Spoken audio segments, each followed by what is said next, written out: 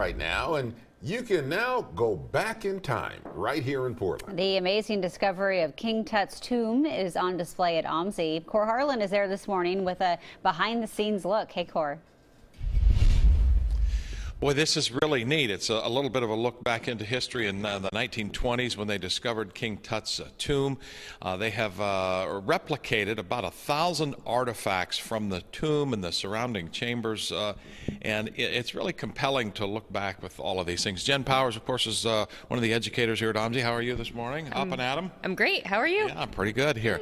This burial chamber behind us, and I want to kind of just step out of the way and let Adam give us a picture of this. Tell me what we're looking at here. Definitely. So, like you said, when you come to OMSI, you're going to see three chambers that were within King Tut's tomb. This one's the burial chamber, which is where they found King Tut. So, you're seeing it a little bit broken down than it was. There were a lot of shrines in here, but what you're seeing is the sarcophagus, the third coffin, and the second coffin.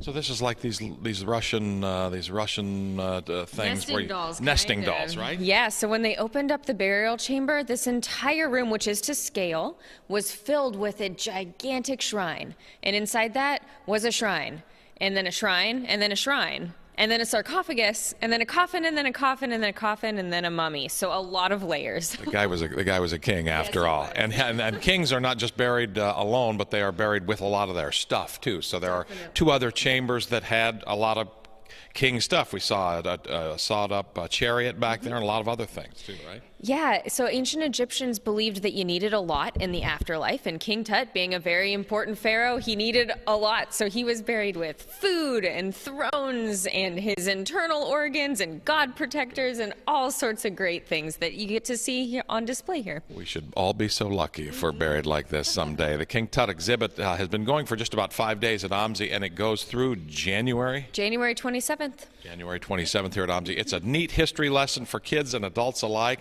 Get to take a look at uh, everything that the king was uh, buried in with all of his uh, things and the things that he was accompanied with in the afterlife. Uh, we're going to go upstairs, take a little bit more with the King Tut exhibit here at OMSI this morning, Jenny and Ken. Uh, and, and, it is, uh, it's, it's something to see, something to look at. Yeah, the old cliche, you can't take it with you, apparently did not apply to the yeah. pharaohs.